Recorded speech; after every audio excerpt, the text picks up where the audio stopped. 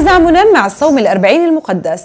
انطلقت في كلية تيرا سانتا بأريحة الرياضة الروحية لموظفي المدارس الكاثوليكية في الأراضي المقدسة. وقد جمع اللقاء الذي دعا إليه مكتب التعليم المسيحي التابع للبطريركية اللاتينية في القدس. نحو 200 موظف من معلمين ومدراء ومحاسبين وغيرهم. كما شارك فيه عدد من الآباء الكهنة والراهبات من مناطق مختلفة. وقد ركزت هذه الرياضة على أهمية الصوم في الزمن الأربعيني بلقاء لاهوتي عميق مع الأب جوني بحبح. ونشاط تفاعلي عن أهمية الصلاة والكتاب المقدس مع الأب لويس سليمان. من ثم ترأس الأب ماريو الحتشيني القداس الإلهي الذي رفع على نية جميع العاملين في المدارس.